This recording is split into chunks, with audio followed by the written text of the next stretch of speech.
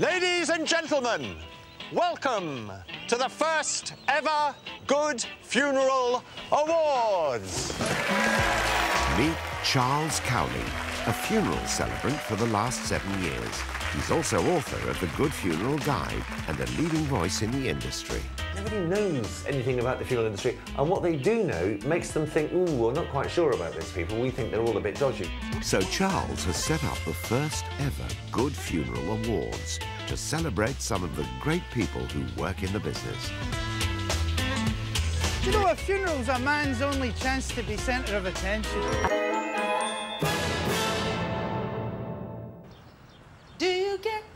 What you're hoping for? Meet award nominee Paul Sinclair and his wife Marion. What are you hoping for? Do you know? Paul met Marion while serving as a minister in London. Back at all we planned. Marion's church was in Hampstead, very posh. Mine was in Willesden, other end of the spectrum. And the pastor, a friend of mine, he invited me to his house for a party, and Marion was singing. We met in the revolving door, and we've been going round ever since. when you've tried black, there ain't no going back. When you've tried white, hmm, It's all right. And only a year after they first met, Paul and Marion were married.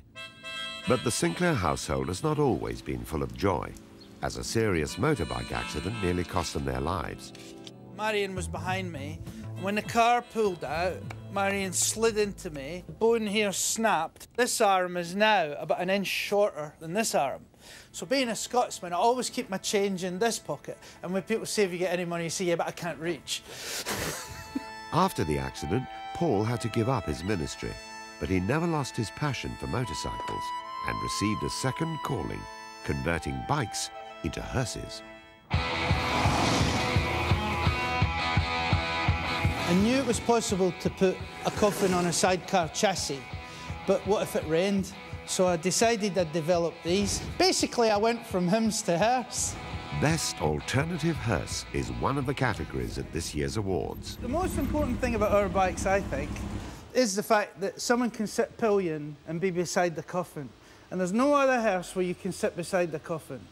So you can actually sit there and be beside the deceased on their final ride. What makes Paul a winner is the fact that he's very passionate about what he does and the families that he serves. So, yes, that's what really makes him a winner, I would say, yes. Someone else fast approaching Paul is Good Funeral Award judge Charles Cowling. He's on his way to assess Paul and his motorcycle hearses in action. Appearances count for a lot. So we'll also be looking at um, attention to detail. Um, all those fail-safe mechanisms that Paul has built in to make sure that if anything should go wrong, he can put it right very, very quickly. Morning, Paul. Good morning. So, which is today's bike? Well, we've got a Triumph today. This one, and effectively this one today, uh, are backup. So if I have to phone and say, you know, we've had a broken window or whatever, hopefully we'll get another bike out on time.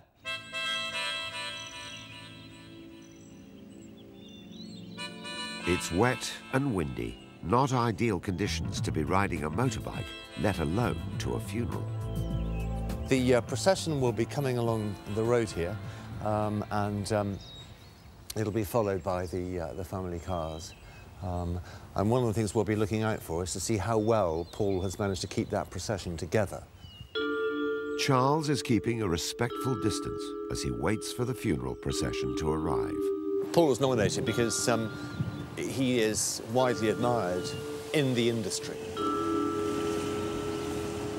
He is a terrific warrior um, with an absolutely obsessive desire to get it right.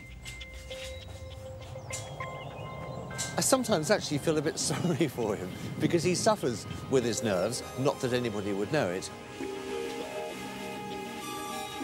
He so desperately wants to get it right because he so desperately wants to be the best um, and because he so desperately wants to give people a wonderful experience of a funeral.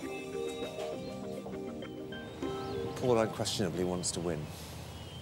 Um, Paul was pretty much faultless. I mean, say pretty much faultless. If I could think of a fault, um, I would name it, but actually, off the top of my head, I can't. Ladies and gentlemen, welcome to the first ever Good Funeral Awards.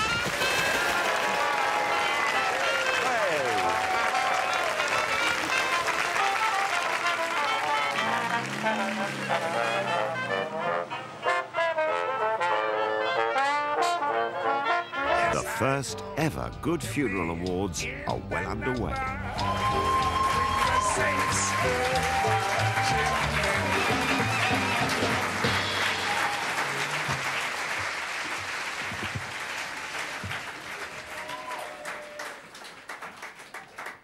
Welcome to the Good Funeral Awards. We're almost ready to rumble. We now come to the category titled Best Alternative to a Hearse. And finally, who are the king or queens of the road?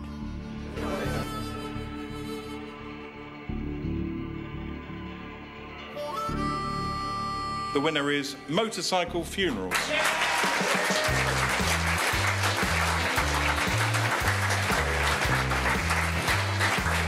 I'm quite humbled actually. Uh, it's, it's kind of uh, shut me up a little bit. Well, I'm not an undertaker, I'm an overtaker.